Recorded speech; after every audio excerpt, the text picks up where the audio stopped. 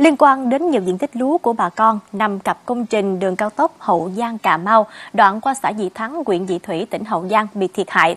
Ủy ban nhân dân huyện Dị Thủy đã tổ chức cuộc họp với các bên liên quan để giải quyết những kiến nghị của bà con và tìm hướng xử lý nguồn mặn. Ghi nhận của phóng dư phóng viên VTV Cần Thơ.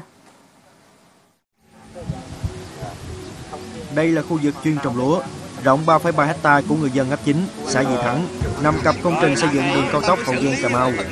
Trong hai vụ mùa gần đây, nông dân đều bị thiệt hại từ 50 đến 70% diện tích do lúa chết, kém phát triển.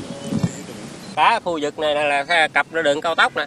Nước ở trên cao tốc xuống này nó chết cỡ này nè, lúa gì là sao sống nổi, phát triển nổi.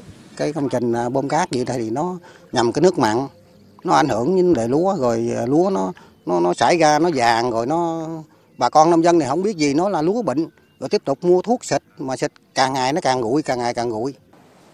Để tìm ra nguyên nhân và cách khắc phục khu vực lúa chết vào chiều ngày hôm qua ủy ban nhân dân huyện Dị Thủy tỉnh Hậu Giang đã tổ chức cuộc họp với chủ đầu tư dự án đơn vị thi công và các sở ban ngành tỉnh. Các cơ quan chuyên môn đều khẳng định diện tích lúa dọc theo tuyến cao tốc Hậu Giang Cà Mau đoạn đi qua ấp 9 xã Dị Thắng bị ảnh hưởng là do nhiễm mặn với nồng độ cao. Vật liệu cát mình đưa là cái vật liệu cát nước ngọt nó lại xảy ra cái chuyện đó. Có thể do nhiễm phèn hoặc là một số lý do khác. Sẽ phối hợp với địa phương để tìm cách giải quyết cái, cái đường rãnh nước. Tạm thời nó đánh nhỏ thôi để nó cũng thu gom được cái nước mà, mà, mà thôi ra thải ra là nó trôi đi. Và cái mùa mưa này cái mùa thuận lợi nhất là nó sẽ thoát được cái đó này nó sẽ giải quyết được căn cơ trong tạm thời. Ít nhất là được một cái vụ kế tiếp mà đã.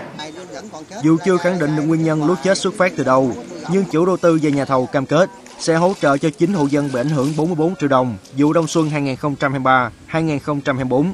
Còn vụ hè thu năm nay, các bên sẽ tiếp tục theo dõi mức độ thiệt hại và sẽ có hướng hỗ trợ. Thời gian tới thì ban Mỹ Thịnh cũng có cái biện pháp thi công an toàn thi công trong cái công trình của mình để tránh từ ờ, trường hợp gò gỉ tất cả các cái ờ, cái nguyên vật liệu mà ảnh hưởng đến ờ, lúa của bà con. Đơn vị thi công cũng khẳng định không sử dụng các biển để làm đường dù chính quyền địa phương không yêu cầu, nhưng đơn vị đã lấy mẫu đi xét nghiệm và sẽ công bố khi có kết quả.